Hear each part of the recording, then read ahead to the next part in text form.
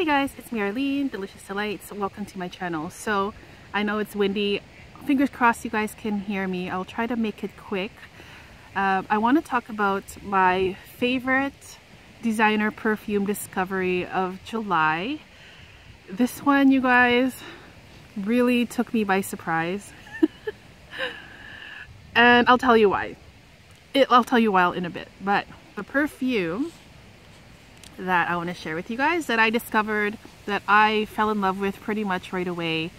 This is from a house that uh, I don't have a lot of experience with. I haven't tried a lot of their perfumes. Uh, but this is called uh, Valentina. Valentina Pink. And this is from the house of Valentino. The uh, bottle is gorgeous. Look at that bottle. Like I kind of just want to buy this just because of how cute this bottle is and the color, the pink is just, you know, super intense and um, it's a lovely, lovely fragrance, you guys. I haven't heard anyone talk about this. Oh, you guys, it's so good. I'm gonna read the little, uh, right, uh, sorry, I'm gonna read the text in here just to maybe set the mood a little for you. So a mysterious pink creation interspersed with the sparkling floral touches of a succulent strawberry combined with surprising hints of acidity from blackberries. The fragrance draws its color from a trio composed of the stimulating May rose, the voluptuous centifolia rose, and the ingenious rosebud. The warm touch of the cashmere wood and the elegance of the ambrox unite perfectly with the appeal of pralines. So, to me, you guys, when I first tried this, and I also tested this for the first time with my buddy Andrew, we both were reminded of another perfume immediately. And we're like, hey, doesn't this kind of smell like Oud Bouquet? And I'm like, yeah, it totally does. But it's not exactly like, like Oud Bouquet. This fragrance, to me, smells like, let's think of Oud Bouquet, take out the oud part of it,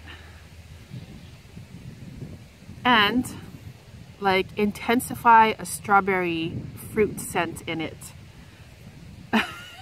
and it's phenomenal, you guys. Like it has this very sweet vanilla and there's praline in here too. It literally smells like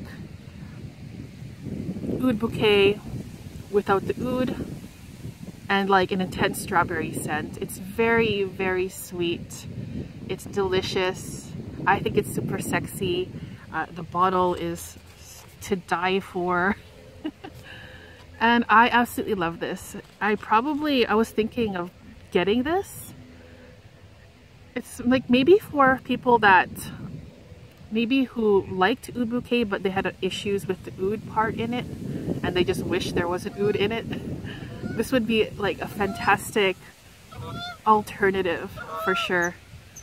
I absolutely love it if you're in the mood for a super sweet strawberry-ish oud bouquet minus oud. That's like the easiest way that I can explain this it's really nice. So I'm just gonna read out the notes for you guys. Let's see here. Uh, maybe you can see the bottle more clearly here. Like seriously. Like can it get any nicer? I would love to see that um, you know just sitting in my collection. All right so the sorry uh, let's see here this was released in 2015. The notes at the top are strawberry, blackberry, and musk.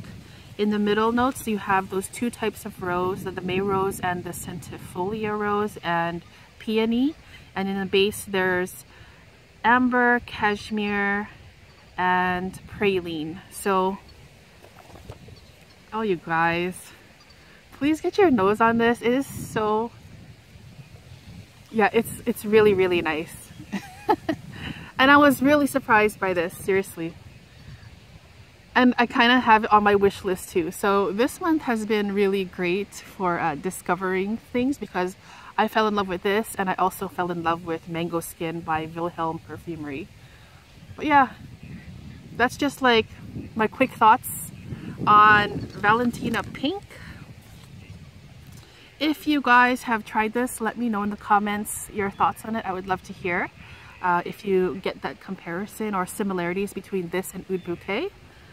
Thanks again, you guys, for, uh, for watching today. Uh, I'm going to continue my bike ride and I hope you guys are doing well and I'll see you guys next time. Take care. Bye-bye.